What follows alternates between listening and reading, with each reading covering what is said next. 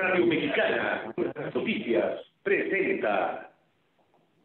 La reforma fiscal 2014 generó más de daños en beneficios para la frontera. la formalidad de las empresas es una tarea La economía americana avanza La proveeduría maquiladora sigue siendo el La gran concentración de poder de mercado en México. La transparencia gubernamental continúa siendo talón de para producir altos Las leyes antilavado Solo Negocios Radio, las mejores entrevistas y análisis para lograr una toma de decisiones adecuada. Contáctenos. correo electrónico, Correo arroba solonegocios.mx página de internet, www.solonegocios.mx Facebook, www.facebook.com diagonal solonegociosmx Twitter. arroba solo negocios. Y recuerde, no es nada personal, son solo negocios.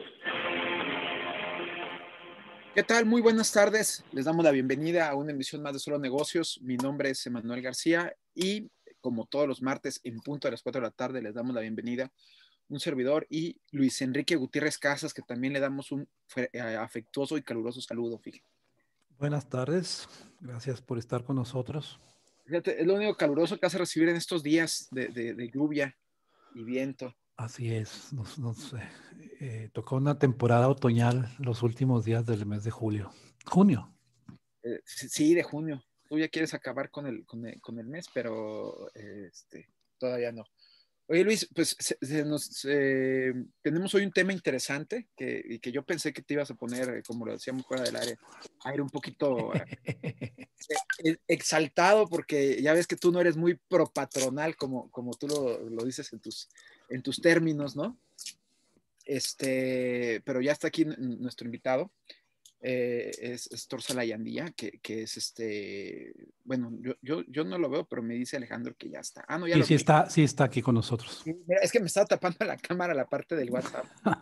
¿Cómo estás? Buenas tardes. Sí, ¿De qué gusto en saludarlos, Emanuel, Luis Enrique, Alejandro, gusto en saludarlos. Gracias por, por este, invitarme a su, a su espacio, a su, a su este, programa y gusto estar con ustedes.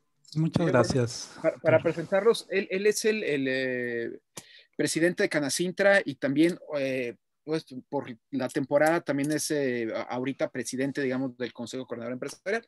Entonces, el tema que queremos tratar hoy, que, que decía que a Luis Enrique a lo mejor no le gustaba mucho porque él, él no es muy patronal en todo este tipo de cosas, es presente la, la parte importante o digamos la clave que es el sector empresarial en toda esta parte del desarrollo, ¿no? Aunque Luis dice que, que sí, que ya, eh, que él coincide, que, que sí es una parte importante. del desarrollo, ¿no? Es, es- bueno, para comentarle a Thor, muchas gracias por estar con nosotros. Claro que es un gusto y además siempre es muy importante que los representantes, eh, en este caso de los organismos empresariales, eh, pues den su opinión y que platiquemos, que platiquemos con ustedes.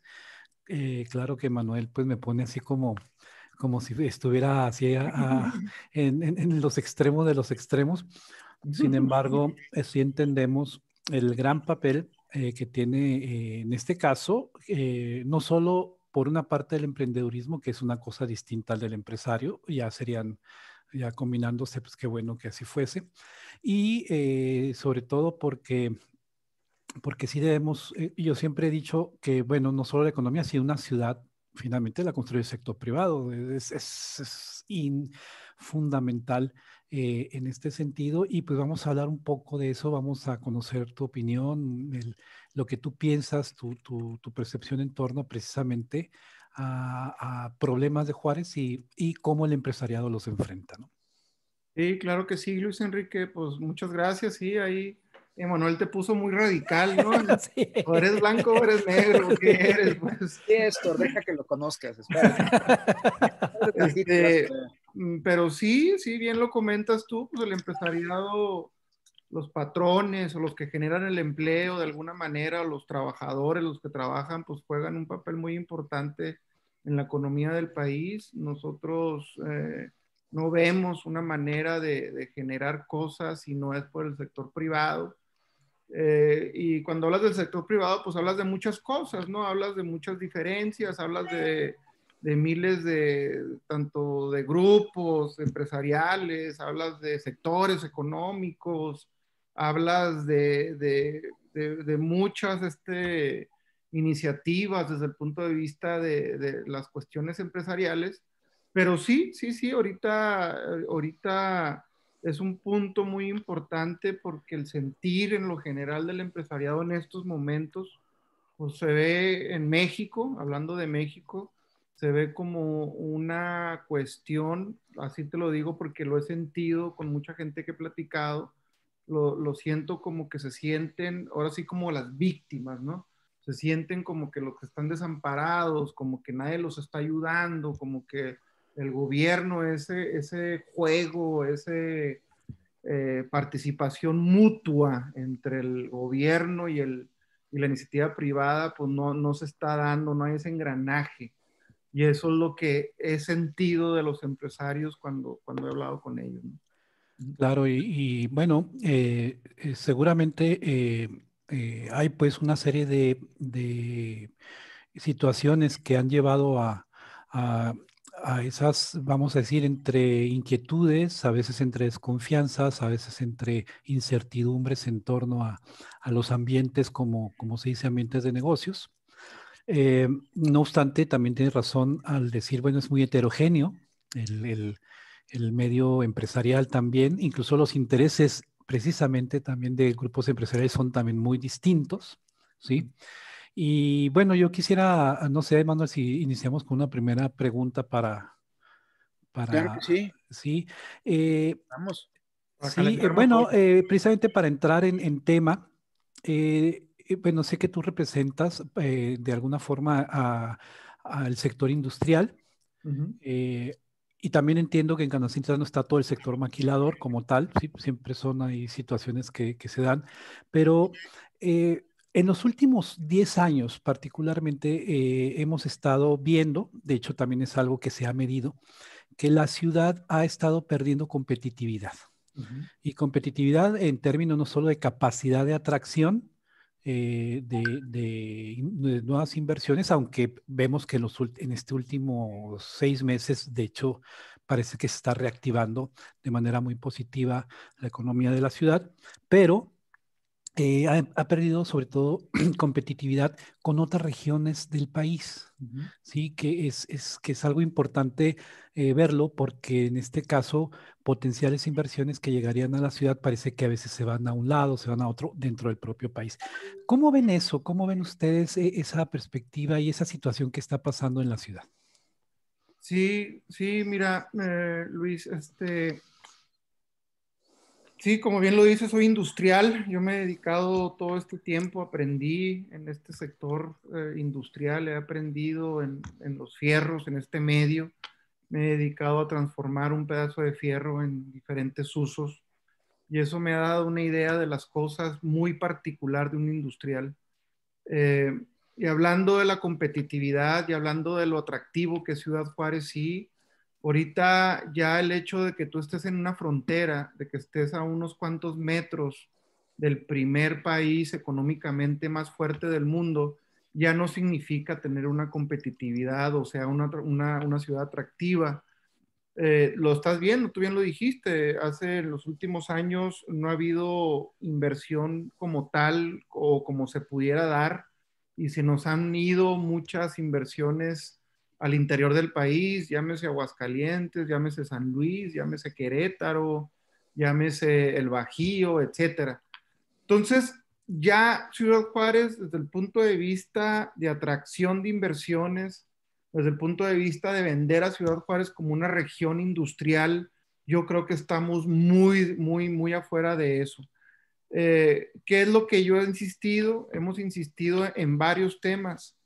Ahorita si queremos poner a Ciudad Juárez en, otra vez en un panorama de esa naturaleza que realmente sea atractivo, tenemos que agilizar las aduanas, tenemos que tener una, un intercambio de mercancías más rápido, más ágil, tenemos que tener una, una aduana más moderna, con un sistema de transporte más moderno entre ambos países y que realmente los aeropuertos puedas estar mandando mercancías y tener un, este, ¿cómo le llaman? Un freight tree zone, este, muy, muy, este, muy capaz, muy grande, con mucha cobertura, ¿no?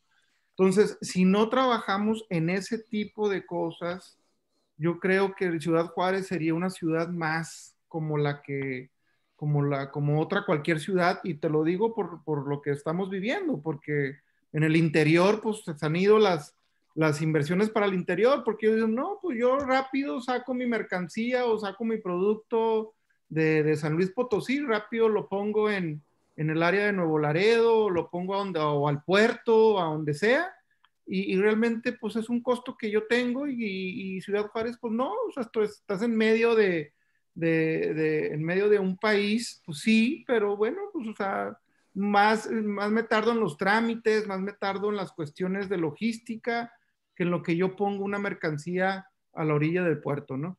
Entonces, te digo, si, si, si no vendemos a, a, Ciudad Juárez en ese sentido, yo pienso que sí vamos a estar todavía este, restando competitividad. Y si le agregas que tenemos ahorita con una ciudad encharcada, que no hay movilidad, este, que no hay una planeación como tal desde el punto de vista de que, bueno, si pongo una, una industria, una maquila ya para el suroriente o para donde sea, oye, ¿qué, qué, qué, qué facilidad tengo yo de mover a mi gente, de mover mis mercancías? Está inundada la calle, está cerrada. O sea, miles de cosas que pueden pasar que nos ponen en el mismo esquema como en, otros en, en otras ciudades del país. O sea, realmente eso no, ya, ya no da, ya no da tenemos que empezar a vender a Ciudad Juárez, desde de lo que yo he estado aquí metido, siento que así debe de ser, que debemos de vender a Juárez como una ciudad atractiva en el punto de vista, como un puerto logístico, como un punto realmente donde se convergen muchas cosas y, que puede haber una, una, un rápido movimiento de mercancías entre dos países pero que se hacía un atractivo muy, muy en específico. Si no lo hacemos así, yo pienso que sí vamos a estar perdiendo y perdiendo inversiones. Y también poner a la ciudad como una ciudad en la que si le quitas la maquiladora y le mides a la, mides a la ciudad como tal, lo que queda, te vas a dar cuenta que, que son, puras, son puros negocios en su mayoría, que no tienen nada de malo, es, cuest es cuestión de cómo lo mueves de que son comercios, son restaurantes, son bares, etcétera, etcétera. Entonces, las pymes industriales que han estado ahí han estado muy cortas de visión, han estado siempre expensas de venderle la maquiladora, no se han puesto de acuerdo, no hay una madurez empresarial. Entonces sí, hay que empezar a mover también eso y empezar a, a mover otro tipo de economía para que realmente sea una ciudad atractiva para los inversionistas, para la industria, para lo que se quiera hacer, ¿no? Claro. Oye, Tor, yo te iba a preguntar una cosa ahorita que mencionabas eso. ¿Sientes que no hay armonía ahorita entre el sector público y el privado? O sea, es, es, decir, para crear el desarrollo, definitivamente los dos tienen que estar en la misma sintonía. No pueden andar cada quien jalando para, para su lado. ¿Sientes que sí están jalando? ¿O no? No, no, cada quien, bien lo dijiste tú y, y lo, te lo vuelvo, lo vuelvo a, a, decir de otra manera, cada quien está jalando para su lado. El gobernante o el político en turno ve, ve algo que siente que así es, pero no toma en cuenta el empresariado. El empresariado también hace sus cosas y busca la manera de sobrevivir o de hacer su, su movimiento por otro lado. Y no hay ese entendimiento, no hay ese engranaje, no hay una no hay una, un sentido de sentarse a negociar, a ver una visión por la ciudad, a ver una visión económica, social, de comunidad, etcétera.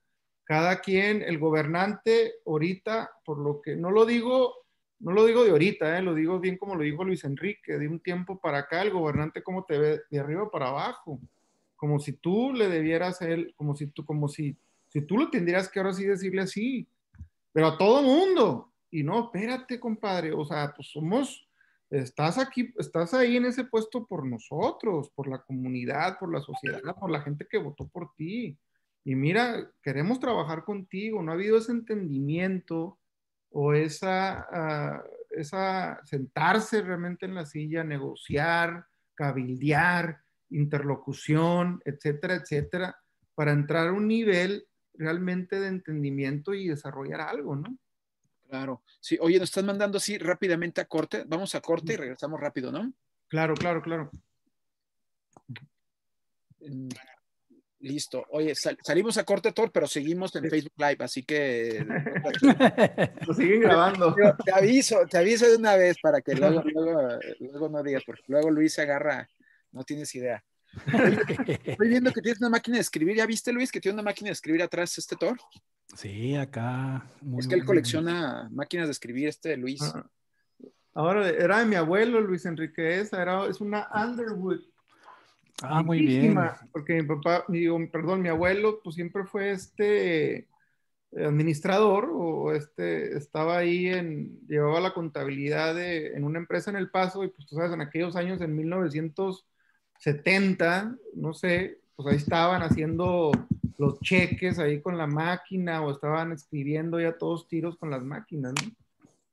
Máquinas de escribir. Sí, yo también tengo una este, máquina de mi abuelo, fíjate. Sí. Underwood también, No, no. ¿no? este, aquí la tengo. Es una Remington. Remington, sí. Sí, sí. Que- Y Están bien pesados, es, pura fierro, es puro fierro vaciado. Sí, sí. También Esta está pequeña, no es, no es estas grandes como, como la que tú tienes ahí, la que vemos, pero es, es un poco más pequeña. Ya de las que, de las que tienen. Oye, y, y estaba viendo, ayer te vi en el, no sé cuándo salió el programa, pero te vi con este Elizondo Thor. Sí. ¿Qué pasó ahí? A ver. No, no, pues, o sea, o sea, él, pues ellos, tú sabes, pues traen su, su programa de trabajo, sus obras, y yo pues, le cuestionaba, oye, pues hay preocupación porque no las vas a terminar. No, es que yo, yo, yo siento que no hay preocupación, es que no le van a terminar. No, y él decía, sí las vamos a terminar. Se ve que tú eres el único preocupado, Thor, porque yo creo que a nadie ya le importa que terminen o no, ¿eh? Van a dejar un batidero. Es que van a dejar un desastre, Manuel. Yo sé, yo sé que lo van a dejar. O sea, no, No. es algo que sospeche. Ahí también hasta Luis, que no quería Que opinar no debería decir. ajá. Pero, por, pero ¿por, qué, ¿por qué se meten a esa, a esa dinámica? O sea, Es la primera vez, yo, yo te lo digo, se lo digo a los dos, primera vez que veo que un gobierno se va más allá a su periodo. Pero, pero vamos a decir, yo sé que es importante que haya una planeación más allá de su periodo, pero no que comprometan el presupuesto más allá de su periodo. No, Manuel, pero la verdad es que no creo que tengan comprometido el presupuesto más allá del periodo. Más bien incluso, este, en ¿crees efecto entiendo que hay, dejar fa- hay ciertos faltantes para, que, para terminar las inversiones, pero, pero por eso se esperaron tanto tiempo, ¿no? Porque empezaron como a, no sé, a ahorrarlo, a acumularlo para poder iniciar. Yo tengo mis dudas, Luis, porque les van a salir muchos problemas estructurales. No, bueno, eso definitivamente, pagar. eso, eso yo sí creo que va a ocurrir. va a pagar, y, y quién va a pagar? Pues el gobierno en turno, y ese, y ese dinero no se lo van a dejar guardado, te lo apuesto. Pero bueno, pues Pues Es que, es que dice, dice el ingeniero Elizondo, sí, bueno, ahí está el dinero eh, y está etiquetado para estas obras. ¿sí?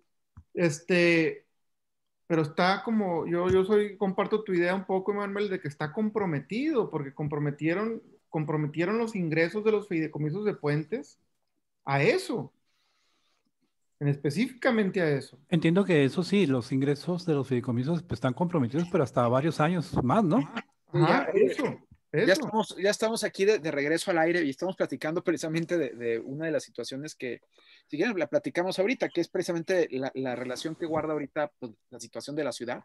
No es secreto para nadie el caos que tenemos, las lagunas, las construcciones y que el gobierno de Corral se va, pues, ¿cuántos meses le quedan o días, Luis? ¿Cómo, cómo los contamos?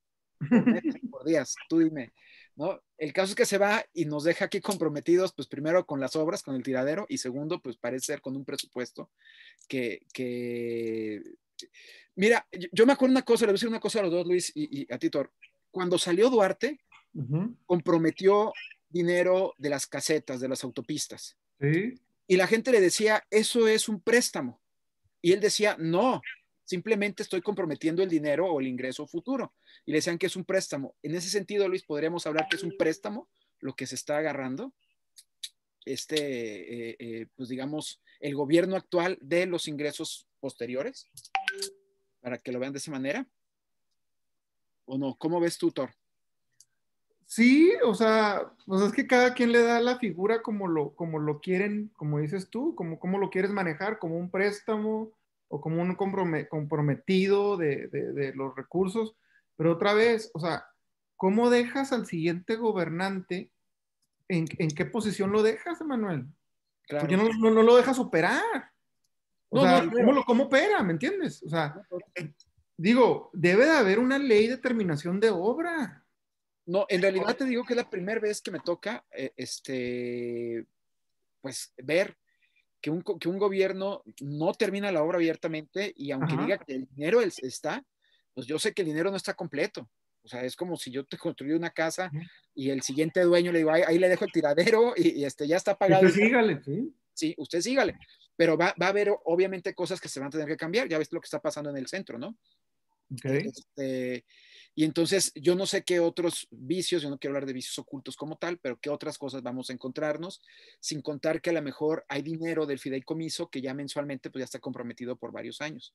Que eso a, a mí me preocupa, a mí y, y no, y no estoy dentro de los empresarios y no estoy dentro de la parte de gobierno, estoy dentro de la parte de los ciudadanos que nada más estamos viendo cómo el gobierno pues básicamente, si a ustedes no les preguntó, a nosotros tampoco. ¿no? Menos, ¿no? nosotros menos, nosotros menos.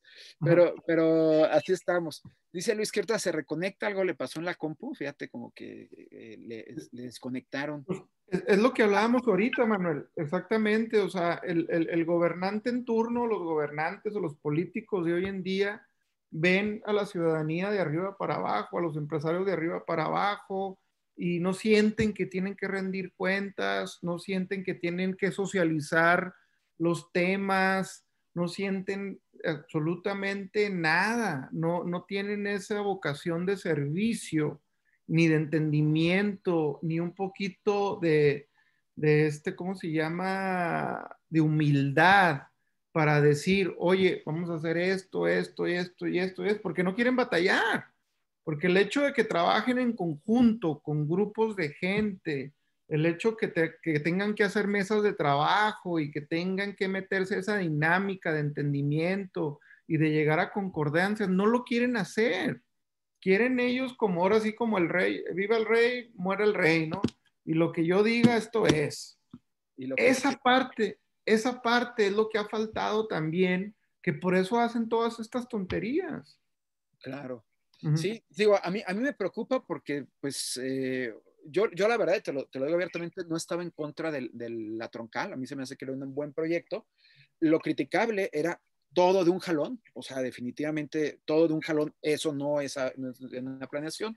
Entiendo que debiera haber tenido problemas a lo mejor en la cuestión de dinero, que en lo que juntaban y lo que tú quieras, pero que al final yo creo que se les hizo bolas el engrudo y, y pues ya ves lo que está pasando, ¿no? Entonces yo creo que ahora sí se quedó como un verdadero caos en, en esto que el gobierno nos quiere decir como maratón de obras, que de las cuales pues no todas están funcionando.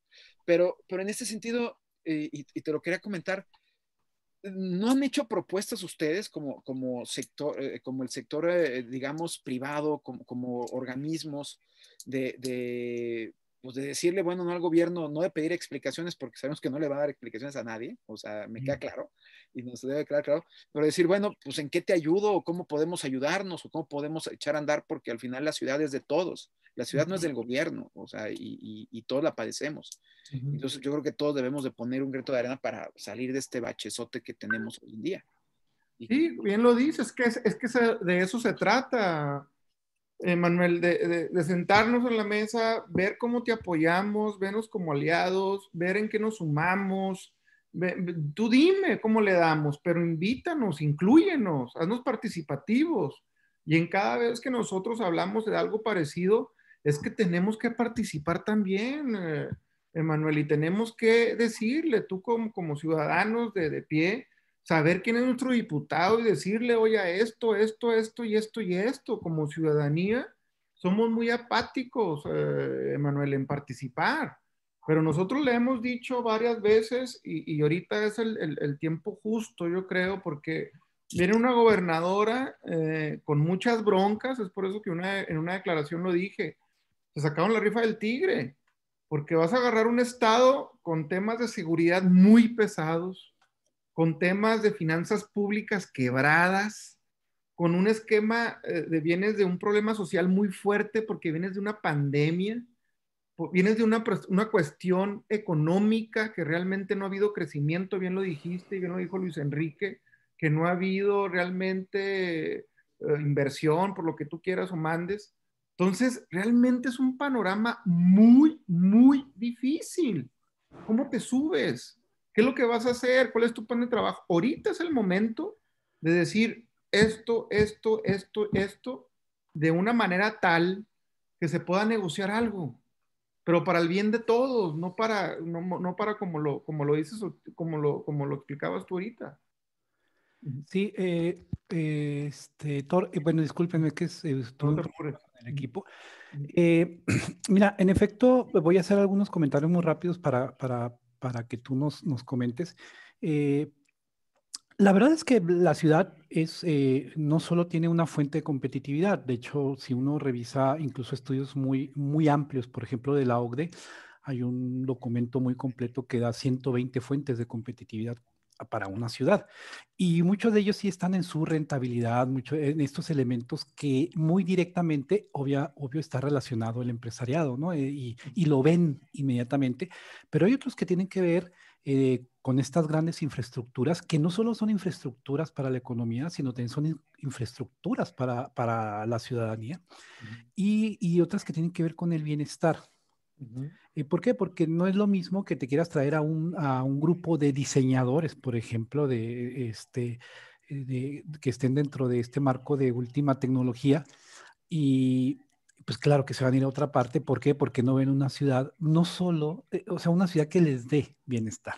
¿sí? Eh, pues que, que, van a pensar en qué escuelas pongo a mis hijos, con qué seguridad, eh, cómo disfruto de la ciudad, ¿sí? Eh, son elementos claros. Y parece que la ciudad no está en ese sentido, ha estado fallando. Eh, y otra de ellas, y esto es la clave, eso, es lo que quisiera que, no, que, nos comentaras. Eh, la verdad es que ha habido un vínculo y a veces el, el mismo gobernante de, de, esta ciudad ha sido o ha salido de las filas empresariales. ¿Sí? Y aquí me parece que hay un tema de problema de intereses encontrados incluso dentro de los mismos grupos empresariales, pero también de, de, falta de capacidad de coordinación, de gestión entre, entre, el entre los grupos empresariales. Porque no hay otra cosa, y eso se, se, entiende desde la perspectiva del desarrollo local, no hay algo mejor que la cooperación entre, entre distintos y parece ser que en ese sentido hay mucha dificultad para ponerse de acuerdo. Tú mismo lo, estás comentando de alguna forma. Y parece ser entonces que no se está o consciente, y, yo creo que sí se está consciente, lo que pasa es que a veces los intereses están más allá de, de, de esto, sino, eh, sino no se está preparado para decir vamos a hacer una ciudad que esté compitiendo con otras o una, una región que esté. ¿Tú cómo ves este grado entre de conciencia, de madurez, de capacidad de los grupos empresariales para enfrentar estos grandes retos. Eh, sí, de competitividad lo tenemos que hacer así, pero también de transformación de la ciudad. Sí, Luis Enrique, es que diste un punto y, bien clave, o sea, eh, ¿cuál es la influencia del empresariado o de ciertos grupos empresariales? Y cuando hablo de grupos empresariales, te puedo decir a los ricos del pueblo, de las cámaras empresariales, de las asociaciones civiles aglomeradas en, un, en algo empresarial, ¿qué tanto influyen con el, con, el, con, el, con el gobernante en turno? ¿Qué tanta influencia? ¿Cómo se mueven? Estos grupos de los, este, como quieras decirle, un nombre, los X, este, este grupo que lo conforman tres, cuatro personas de mucho poder económico, si tú quieres, o como lo quieras manejar, cómo se mueven durante el tiempo junto con esta gente que está ahorita gobernando. Y eso es lo que me llama la atención. Y, cada vez que hablas de ese tipo de cosas, lo que, lo que yo siempre he criticado, lo que yo siempre he puesto sobre la mesa, es que siempre ven sus intereses, sus intereses particulares, sus intereses en el momento, en el tiempo. Y, eso siento que no se vale. Siento que no se vale y por eso tampoco pueden influir tanto en las cosas que se tienen que hacer bien. Y, lo digo, así te lo digo, Asensio, o sea, todo mundo hemos visto que no caminan como deben de caminar las cosas, por esos, por esos mismos compromisos que pudiera tener un político con ciertos grupos de poder, o con ciertos políticos o con ciertos empresarios. Y es lo mismo que, lo mismo que, lo mismo que dices tú, ¿cómo le damos? ¿Por dónde nos movemos? ¿Para dónde le damos? O sea, no hay una visión como ciudad en ningún sentido de ver una ciudad en 30 años. Ahorita lo, le decía Manuel, o sea, que yo estoy viendo un BRT que sí es una muy buena idea, que sí es necesaria, que sí lo estaba avalando. Este, pues sí, güey, pero ¿por qué no lo socializas? ¿Quién está detrás de eso? ¿Por qué no lo sumamos todos? O sea, se va a quedar ahí tirado. Es lo mismo. ¿Y los empresarios? ¿Y la comunidad? ¿Qué está viendo? E-, eso es, no sé si sea parte de lo que me estás este, tú. Oh, no, claro, claro, es cómo, cómo ven esa, eh, cómo ves tú a, los grupos empresariales precisamente eh, ante, ante esos retos, ¿no? ¿Qué grado de madurez tienen? no, no hay madurez, yo siento que se inclinan al, al momento, se inclinan a los intereses del momento con, el, con, el, con la persona que esté ahí en ese momento. Así te lo puedo decir muy abiertamente. Oye, un break, es que nos están mandando aquí a corte rápidamente. Sí, sí, nuestros patrocinadores, el programa más escuchado de la ciudad. Con mayor rating. Regresamos en un minuto, no nos tardamos nada. No, pienses que estamos cortando, Thor, así de que, que la, no nos mandan. Pero, este, ¿Qué te pasó, Luis? ¿Te, censuraron o qué pasó? No, es que este equipo, no sé, o sea, de repente como que se bloquea y ya, y reinicia solo. ¿Sí? Sí, yo ya, ah, ya, tengo que cambiar este equipo, pero pues bueno, a ver. Pero ahora hasta que ProDev diga, ¿verdad? Pues sí, imagínate cuando está, estoy dando clases que de repente ha ocurrido. No, pues todos contentos, todos contentos, imagínate. Oye, ¿cómo van las cosas en Canacín, Trator? Ahí más socios. ¿Más qué, perdón? Más socios. Pues sí, ha sido una intención de, un servidor eh, en este año y medio que tengo buscar, pues tú sabes, las cámaras se, sostienen por las membresías de los, de los agremiados. Eh, es una parte eh, fundamental y también hay que buscar otras ideas creativas de generación de ingresos para que puedas sostener una cámara, ¿no? Y puedas hacer proyectos y sobre todo para el, para el gasto corriente, ¿no? Gasto corriente, me refiero a pagar saldos, sueldos, este, eh, sueldos de los muchachos, de la directora, del director, del asistente, luz, agua, teléfono. Antes tenías una responsabilidad, ahora tienes dos. Ahora tengo dos. y bueno, pero, pero tú sabes, ahora el, el empresario de ahora, eh, eh, trae otra cuestión muy diferente al empresario de los ochentas. ¿Entiendes? ¿Qué es diferente? A ver, eso está bueno. No, no, son muchas cosas, mira, pero, pero hablando del poder de las cámaras, en, aquellos años las cámaras tenían mucho poder porque por ley, tú como empresario, persona física, moral, como le quisieras llamar, tenías que estar agremiado a una cámara. Entonces, a la que mejor te conviniera, si eras de comercio, pues ibas a Canaco, si eras industria, pues ibas a la... Ya, estamos de regreso, Thor. A ver, nos estabas platicando, para no interrumpirte, estábamos preguntándole a Thor acerca de, cómo van las cámaras, ¿no? Estaba contando ahorita la situación de las cámaras que viven, especialmente Canacintra. Sí, te digo, las cámaras, te digo, no son las de los ochentas, por muchas cosas, también por las cuestiones políticas y sociales, sí, pero también el empresario ya no es el mismo de los ochentas, el empresario y ahora tiene otros retos que los que tenía antes. Ahorita te estás enfrente de, de, de, chavos que traen otro, otro chip en la mente, estás enfrente de una cuestión virtual, estás enfrente de que la economía se mueve de diferente manera, de que, el, que, que, la autoridad fiscal te tiene bien vigilada y que, oye, piénsala, compadre, porque si vas a aventarte como empresario, tienes estas obligaciones, ¿eh? y te voy a agarrar y ya no es como antes, ¿no? De que comprabas y vendías facturas, ¿no? Ya no es así. Y, y, cuando ves con un mundo más competitivo que en los ochentas, por ejemplo, aquí en Ciudad Juárez, Ciudad Juárez, este, si tú venías con una onda de, querer hacer algo, pues no había nada y no tenías competencia, y si eras muy bueno y si tenías servicio y si tenías las ideas, pues lo hacías. Y, si le vendías a la maquiladora que andaba buscando proveeduría, si querías venderles escobas, le vendías como tú quisieras, al tiempo que quieras y te pagaban en 20 días o en 10 días o a la semana, ahorita te pagan a 180 días y bien te va. Y, y, y, si le vendes a la maquila, si le vendes a otro cuate, pues más vale que tengas un contrato, compadre, porque la gente va a buscar a todos tiros de ver cómo no te paga. Estoy generalizando, ¿ah? están viendo también sacar tus intereses. O sea, el empresario no es como es el de antes, pues. Y tan es así ahorita que las cámaras empresariales tienen que pasar por una refundación. Deben de entender los líderes empresariales, los que están enfrente de una cámara o de una asociación que aglomera empresarios, que los retos son otros, que tienen que hacer proyectos para su gente, que no le puedes decir, oye, Manuel, afíliate. Pues sí, se va a afiliar porque es tu cuate, pero ¿qué le vas a dar? ¿Qué beneficios hay? ¿Cómo los vas a enganchar?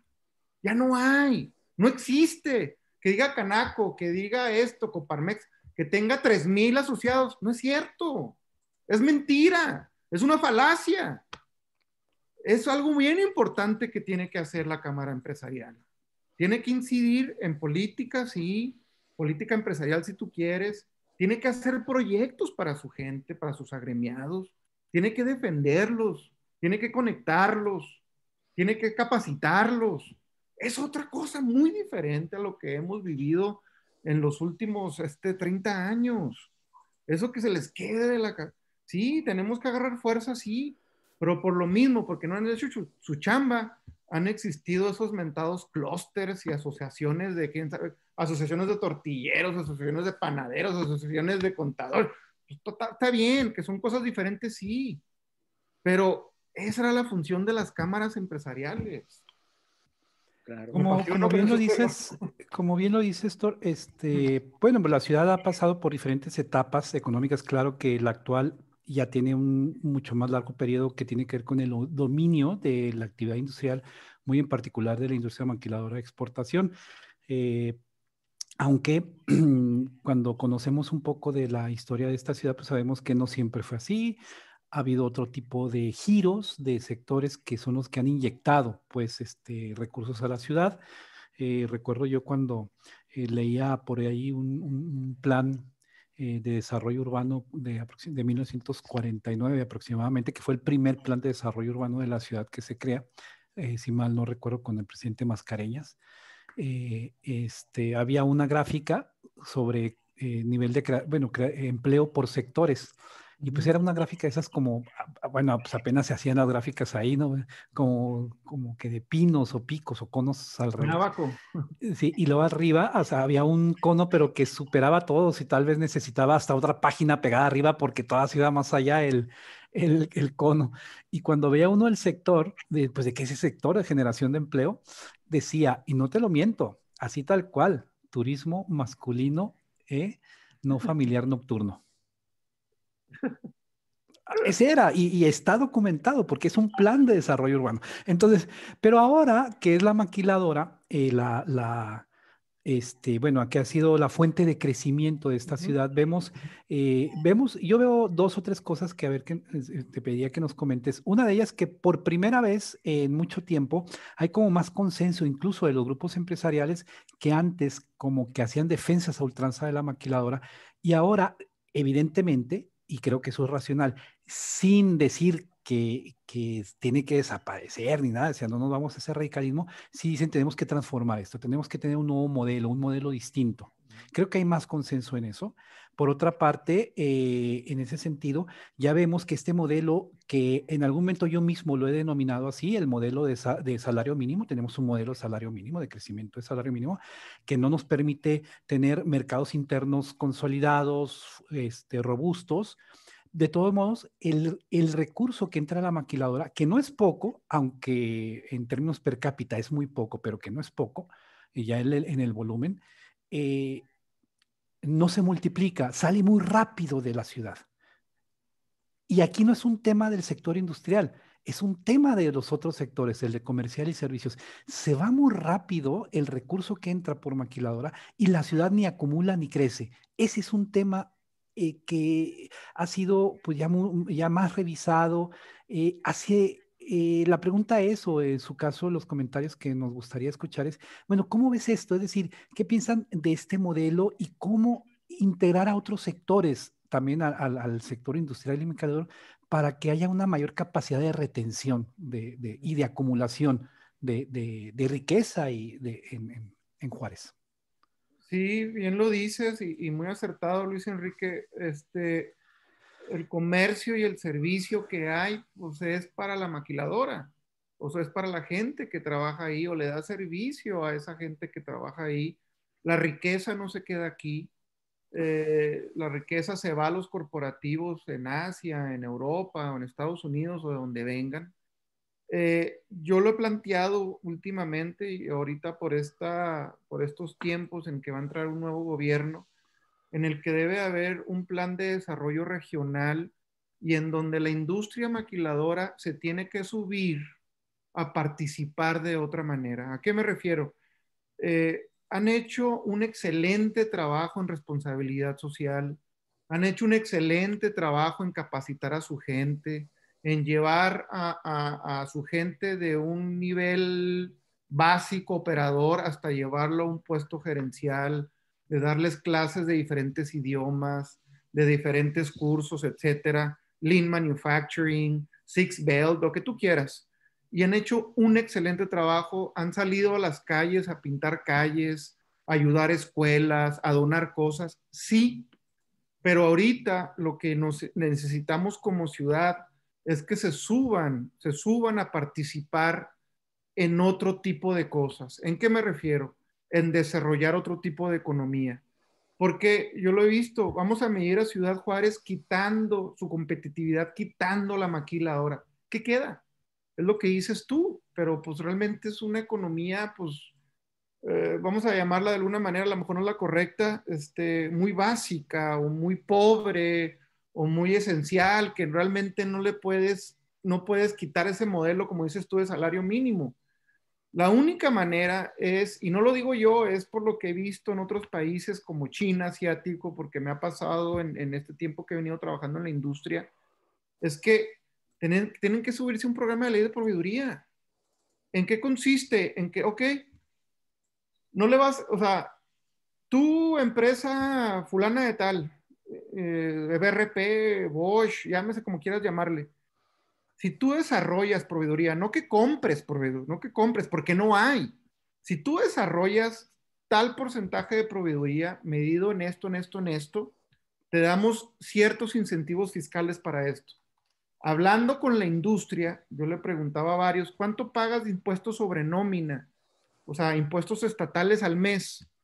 No bajaban de 3 millones de pesos. Ok, bueno, si yo le digo gobierno, ya no vas a pagar 3 millones, vas a pagar uno, pero esos 2 millones van a ir a compra de maquinaria, a compra de, a compra de, de gente, capacitación, etcétera, para desarrollar esto que estás trayendo de allá de, de Asia.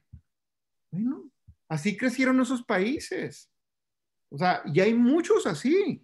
Entonces, si no desarrollas ese tipo de economía y sigues apostándole a un modelo maquilador, pues yo creo que estás, que, pues que no hay mucho futuro. Hay ideas visionarias como este gobierno que lo hizo, que la mente, la mente factura, donde crearon este cita, crearon este cita, que está bien, a lo mejor una idea muy visionaria, pero ¿a quién le vas a dar servicio? ¿Cómo lo vas a mantener? O sea, ¿para quién va dirigido? Yo he ido a varias máquinas y ¿sabes de lo que es el cita? No sé. ¿Lo necesitas? Pues yo aquí tengo mi, mi, este, mi centro de inteligencia o mi centro de data o mi centro de, de investigación. ¿A quién va dirigido? ¿Qué es lo que van a hacer? ¿Qué es lo que necesitan? No. Necesitamos forzar el desarrollo de proveeduría de todo tipo de procesos productivos que están trayendo de insumos directos, de componentes directos que se estén comprando aquí, para que de ahí, eh, con esa expertise, empiece a haber ya otro tipo de industria local, que realmente pueda competir de otra manera. Pero si no forzas de esa manera las cosas, pues aquí nos vamos a seguir con lo mismo, inventando cuestiones visionarias, siguiéndole metiendo dinero a algo que no sabemos si va a dar, pero lo que ya está es, es eso. Eso es como yo lo veo como industria y es lo que necesita. Y cuando tú hablas con la industria, hace dos semanas, la semana pasada, hace dos semanas nos juntamos con 50 maquiladoras y los invitamos a, esta sensibilización que le estamos platicando y están puestos para hacer así, oye, te bajamos los impuestos estatales con el impuesto sobre nómina, con los prediales, con los impuestos vehiculares. ¿Cuánto es esa bolsa? ¿Verdad? Ahora, no los vas a dejar tú de percibir, gobierno, se los vas a trasladar a estos empresarios locales, pymes, si lo quieres llamar de esa manera, y van a empezar a generar otra economía, y van a empezar a generar otro ambiente de trabajo, y a lo mejor a esa gente más capacitada que te costó y eso vas a poder pagarle un poquito más de dinero y vamos a empezar a cambiar ese modelo de salario mínimo y empezar a que lleguen otro tipo de inversiones, este, otro tipo de hoteles, otro tipo de franquicias restauranteras, etcétera, y que haya otro tipo de crecimiento en la frontera. Pero si no los incluimos a ellos de otra manera, Luis Enrique y Emanuel, yo pienso que vamos a seguir eh, metidos en ese tipo de, modelo de salario mínimo, ese tipo de ciudad de, media para abajo, de baja o como lo quieras llamar, y no va a ser atractivo para ninguno. Ok, oye, nos están mandando a corte rápidamente, Thor. Vamos a corte y regresamos en un minuto, ¿no? Sí, claro, claro. Listo. Oye, pues tienes razón en eso, pero ahora que estás hablando, Thor, eh, en esa cuestión, a, ver, Luis, tú que estás ahí, que eres bueno con los números, especialmente cuando te convienen, Luis. ¿Se podría hacer un efecto multiplicador de esta manera? O sea, es decir, un modelo, una propuesta a, gobierno donde decir, ¿sabes qué?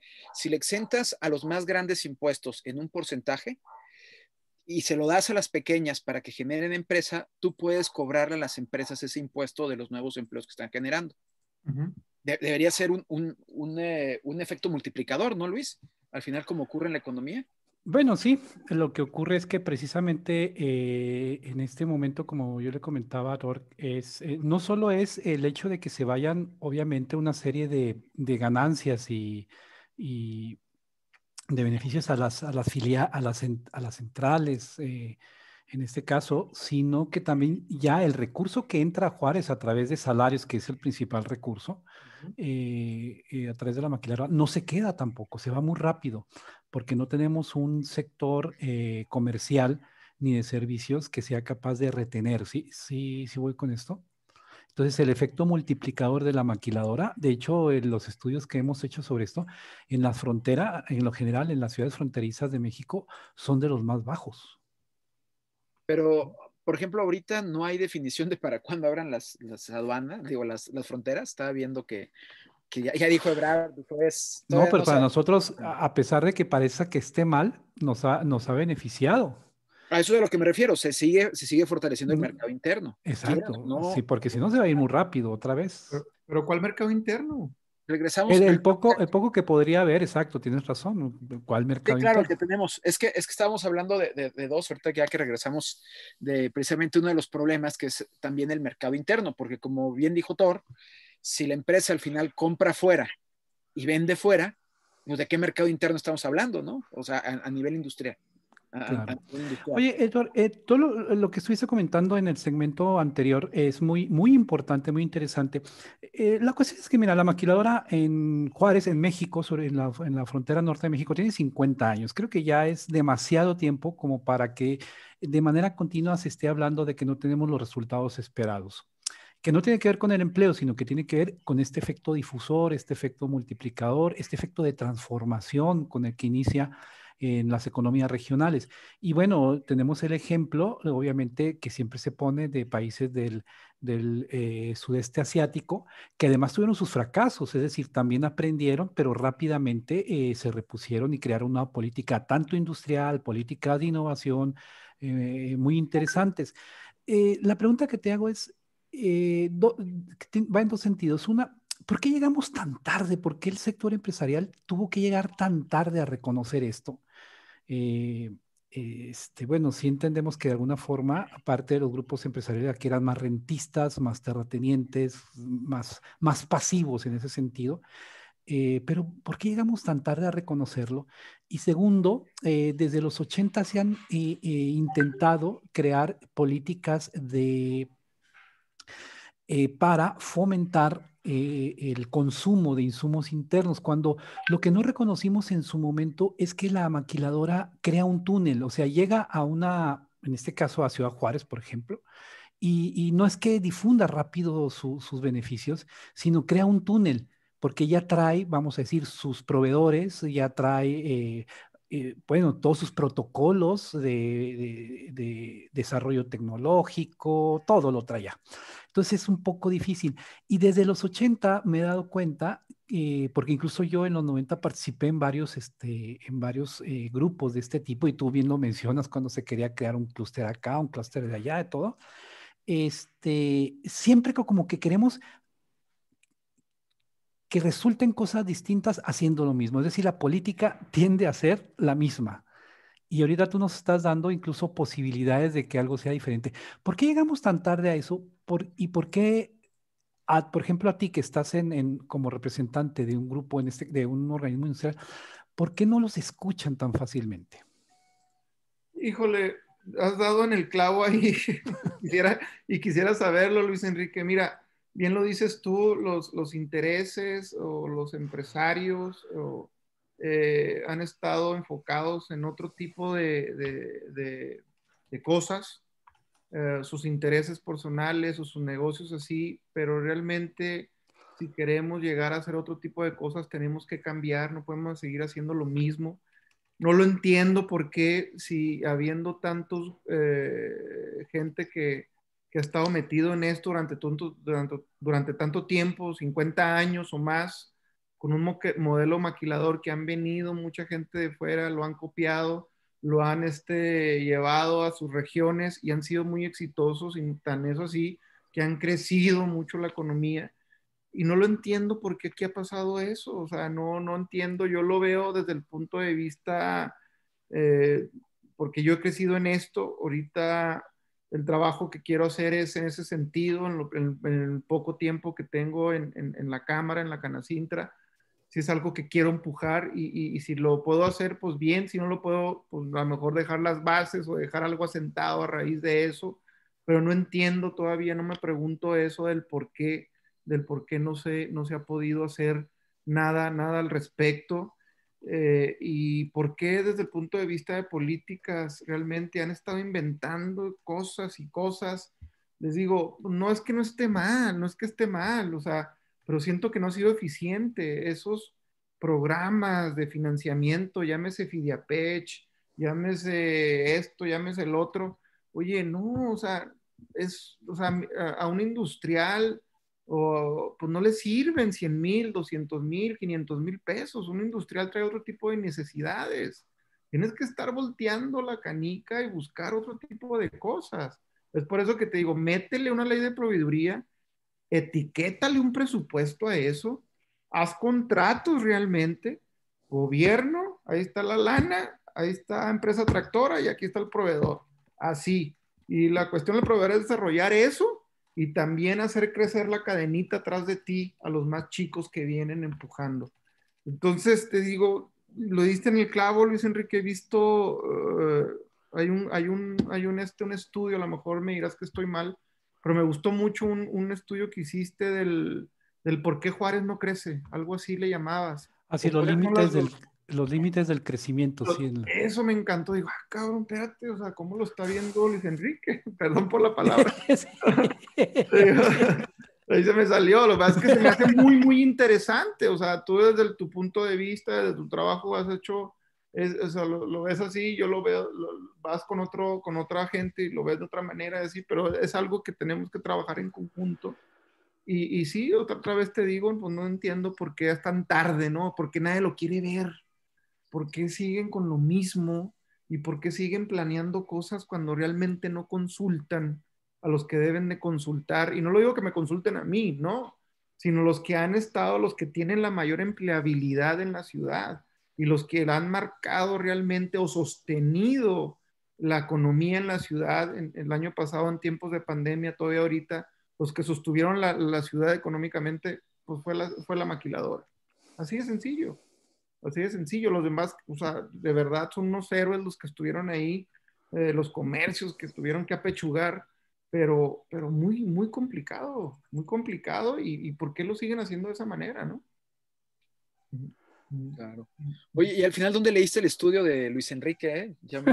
lo, lo, vi en una presentación, algo lo presentó y me dije, órale, me gustó mucho el, el, el, enfoque que le estabas dando, que ya fue hace tiempo de eso, pero lo traigo aquí en la mente y es algo que, hay que, que, que pienso que hay que retomar. ¿no? Pero, pero viendo la problemática de Juárez, un problema de Juárez de hace 30 años parece que es vigente todavía, ¿no? Pues lo que te digo, es lo mismo, o sea, ¿por dónde le damos? Y porque es el momento ahorita oportuno de los nuevos gobernantes, hacerles ver lo que te decía ahorita, Emanuel, de que tengan un, una vocación de servicio, sean más humildes, volteen a ver a la gente así, no los volteen a ver para abajo, se sienten intocables, o sea, cada vez que entra un gobernante, no, hombre, ya, espérate, parece que le estás hablando al rey, o sea, espérate, o sea, no es así. Bueno, no. yo a mí me ha tocado este, convivir este, eh, con, con, precisamente por mi trabajo y con, con, varios políticos y yo sí tengo una opinión de que eh, la gran mayoría de ellos eh, siempre te llega, a, cuando llega a preguntarte algo, y ya de todos modos él dice que ya lo sabe, o sea, finalmente lo hace por, por, eh, por compromiso. Por compromiso. ya, ya, ya, lo saben todo, ya tienen todas las respuestas y eh, bueno, esa es mi opinión cuando yo. Yo trato de armado y nada más por cortesía. Oye, ¿qué opinas? sí, ¿qué opinas? Pero ya lo saben todo. yo digo que, que, es un trabajo en conjunto, los mismos eh, ciudadanos, nosotros tenemos que participar más, exigirle a los diputados, exigirle a los gobernantes, buscar esos mecanismos de cómo participar. Y los mismos empresarios, voy a decir una palabra a lo mejor que está prohibida, pero no que se estén empinando ahí siempre que por, un interés personal, ¿me entiendes? Eso es muy, muy importante, ¿no? Claro, claro entonces, eh, bueno, lo que, eh, la ciudad le hace falta muchas cosas. Creo que precisamente ese eh, divorcio que ha habido eh, entre no solo en el sector este, perdón, disculpa, empresarial y gobierno, sino también incluso con instituciones, eh, el área de, de conocimiento, con, con, ONGs, y ahora lo que le llaman la quintuple hélice, ¿no? La, lo que es el, todos aquellos que tienen que ver con la sostenibilidad y, y, y el medio ambiente. Eh, yo creo que esos divorcios han sido muy dañinos para la ciudad, uh -huh. de tal forma que, obvio, estamos en, en, un momento en que, de, si lo hubiéramos en retrospectiva, nadie en los 80 hubiera pensado que estaríamos así. Es decir, y lo que quiero decir con esto es que no tenemos una visión de los próximos, no sé, 20, 30 años y, y vamos hacia ella. No hay como pactos de Estado, no hay como decir una mesa de, de coordinación, de cooperación eh, en torno a esa visión, sino que estamos en las lógicas de cada trienio, en las lógicas de la política, y no todo es eso, sino también de alguna forma, como lo se ha expresado aquí, con, también con eh, cierta, eh, eh, si no inmadurez, es este, como incapacidad de los grupos empresariales por llevar a, por, llevar a cabo proyectos de largo plazo para la ciudad. Sí, no, no, así es, o sea, son, son, son este proyectos eh, muy chaparros, muy cortos, Luis Enrique, y también que, que, los políticos no toman, no hay una visión a largo plazo, y, y, y, bueno, lo que se dejó inconcluso o el trabajo que se vino llevando, el siguiente gobernante que lo siga llevando, que rescate lo bueno y lo malo a lo mejor, pues que lo deje pero que sí haya un estudio, un, un, análisis muy preciso y que realmente no sean cuestiones políticas o egos. Aquí lo podemos ver con la infraestructura que ahorita llamaba, que hablábamos. Un, un, este, un hospital a medias que ha costado mucho, un este centro cultural Paso del Norte que tú sabes que se dejó inconcluso por muchos años y después se rescató.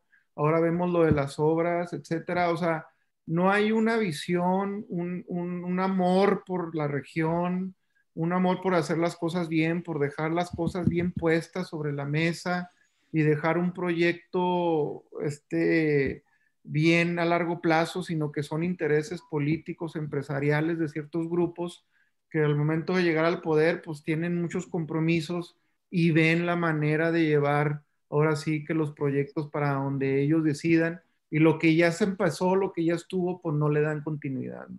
Sí, ahí se nos termina. Oye, Se nos está cortando el tiempo, Thor. La verdad es que el tema da para mucho y, como todos los años hemos tenido en la ciudad, pero tenemos que despedirnos. Te agradecemos muchísimo la verdad el espacio y el tiempo porque es muy valioso para nosotros tus opiniones.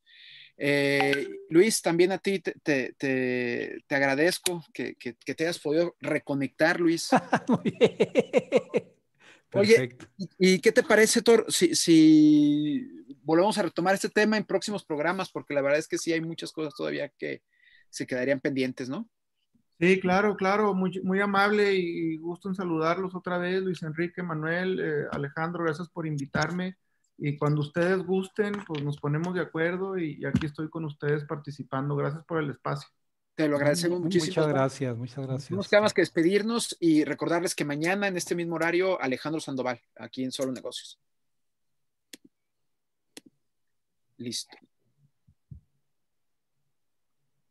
Agradecemos su atención. Nos escuchamos de lunes a viernes de 4 a 5 pm a través de Radio Mexicana 1300 AM. Contáctenos. Correo electrónico. Correo arroba solonegocios.mx. Página de internet. www.solonegocios.mx. Facebook. www.facebook.com diagonal solonegociosmx. Twitter. Arroba solonegocios. Y recuerde, no es nada personal, son solo negocios. Bueno,